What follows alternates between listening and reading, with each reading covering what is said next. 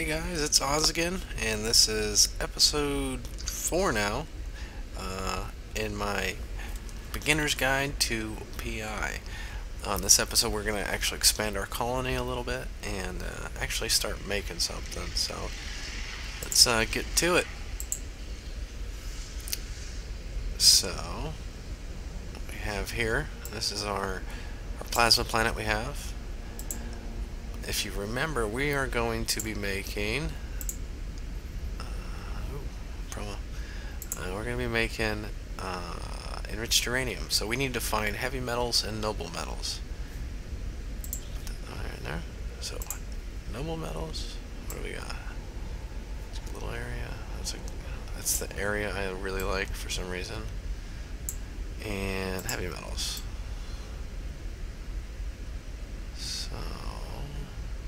Some good heavy metal spots here. Noble metals. Yeah, we'll put it here. Okay. So this is what, this is the method I do. Okay. And I find this method to be the easiest. There's a couple different methods.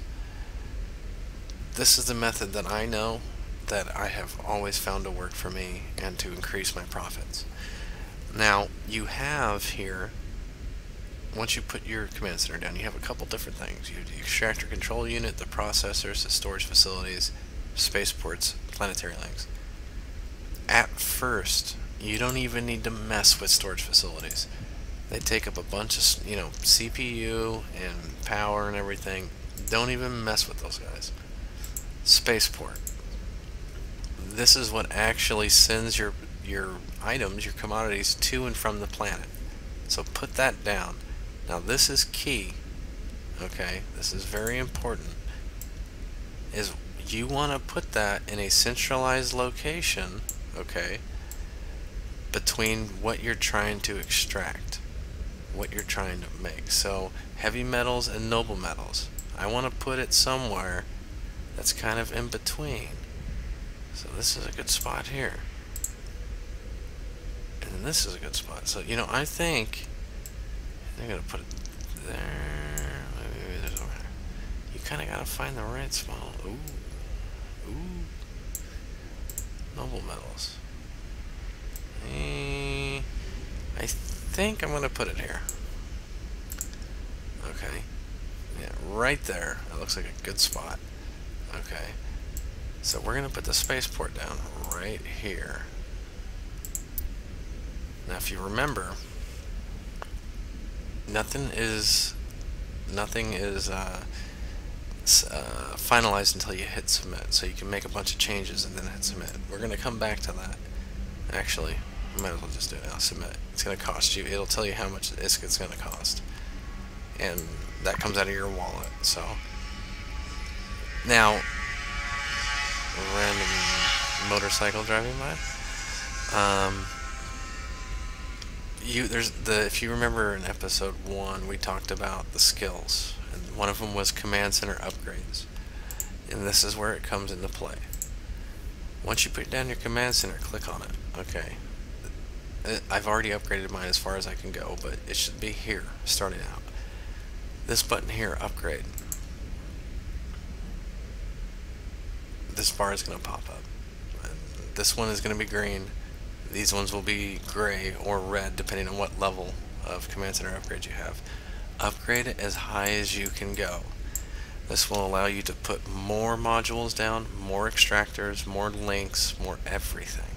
Okay, more factories, more storage silos if you wanted to use them. So upgrade that as high as you want, or as high as you can. The, and remember, after you upgrade it, you have to hit submit. The wonderful thing about PI is that you can put this anywhere you want, okay? And you, uh, there it is.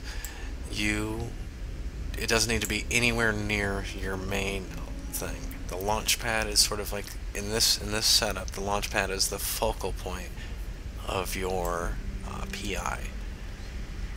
So we have our launch pad down, okay?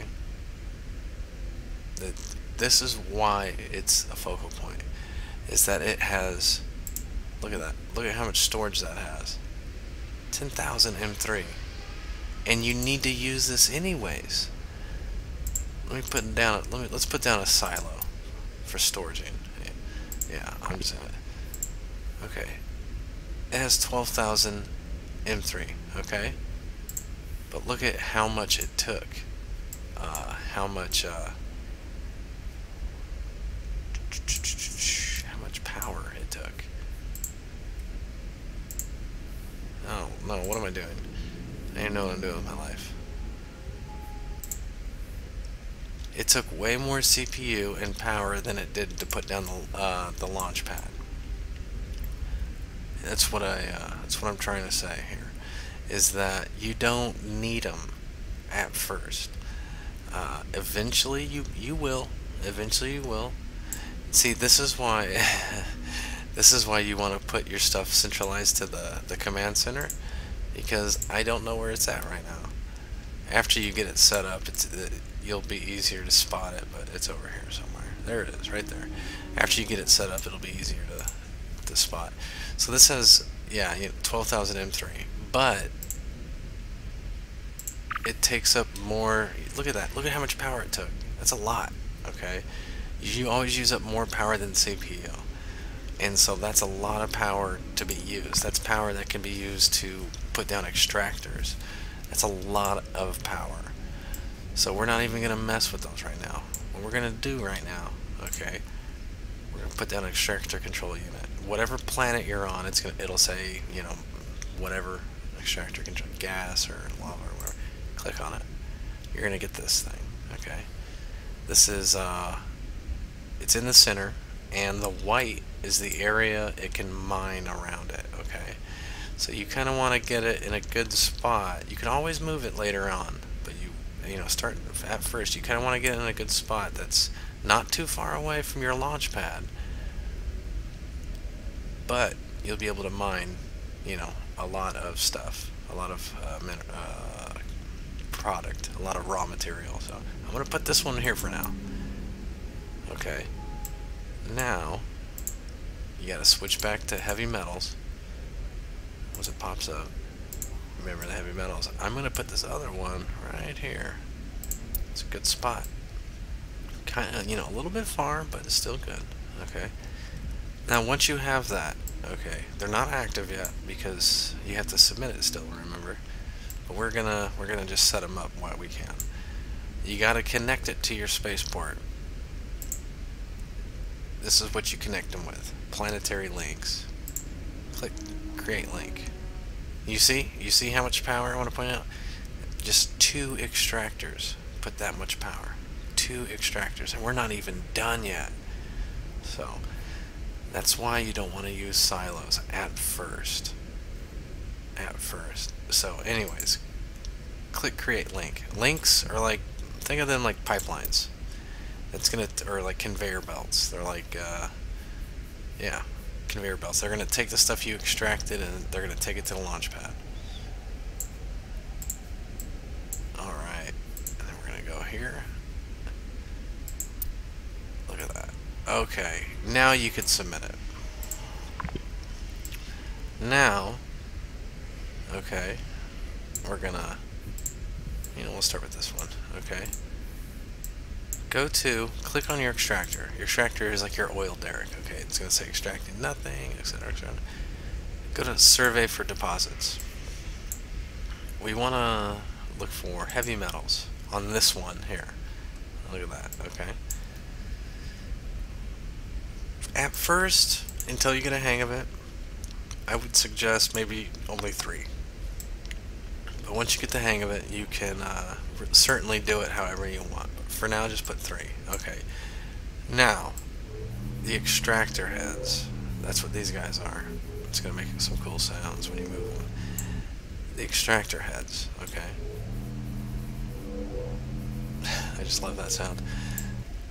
These will actually get bigger and smaller depending on this, this bar here. Now, I'll explain this bar right now.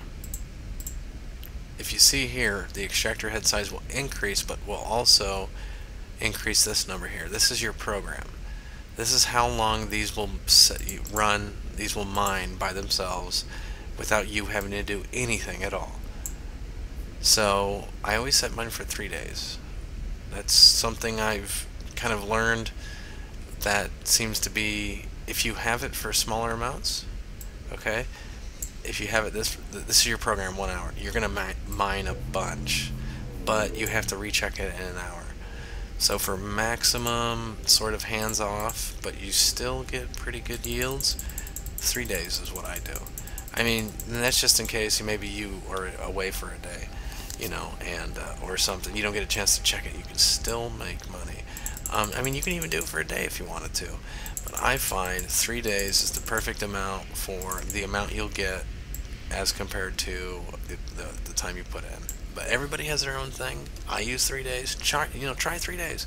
You can always restart it, you know, and check up on it and restart it. So move these around, and you see there's a number changing there in extractor head units. Move them around until you find, you know, get the most.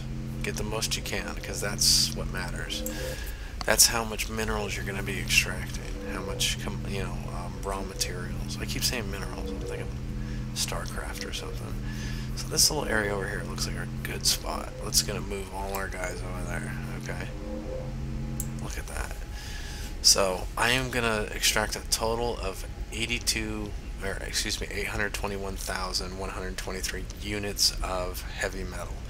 Okay, it's gonna extract 11,404 uh, units per hour. That works perfect for me. After you get what you want, press install. Bam. Boom. It's going. Okay, but it's not done. It's not done. You still have to submit it here, remember? But, click in this. Click on your extractor. This is fucking key. Excuse me, pardon me. this is key. Uh, click on products. Okay, you're gonna get this. This is what this is what you're extracting right now. Click that. Then click create route. Okay. Then select your launchpad. Then click create route or route. Doesn't matter what you want to call it. And after you're all done with that, then you hit submit and then it's going to start going. And then that's when it's going to start mining. So I hope that was, I made that as simple as possible. I probably didn't, but hey, you know, what are you going to do?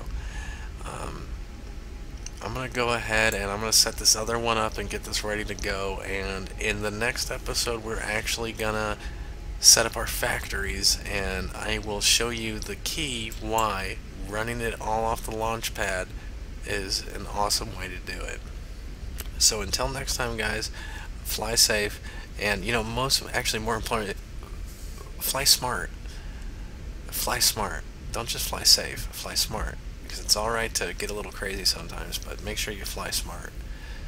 This is Oz signing off, and uh, good luck out there.